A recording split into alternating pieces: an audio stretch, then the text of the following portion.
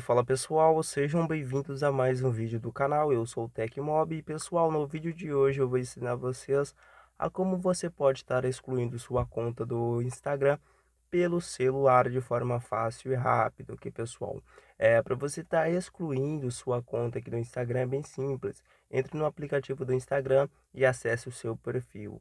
Aqui no seu perfil, toque nos três pontinhos, tocando nos três pontinhos, toque na primeira opção, que é a opção de configurações, ok?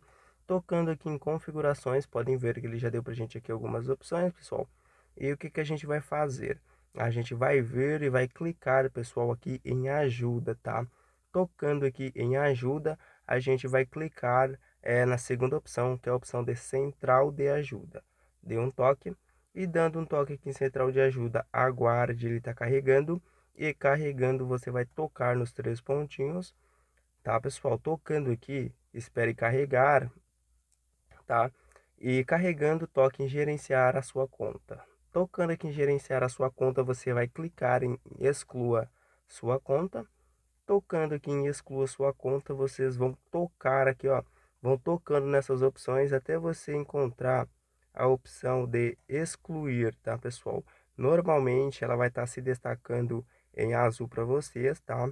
Essa aqui é uma técnica do Instagram é, de impedir que você possa excluir sua conta para que ele não possa perder um usuário.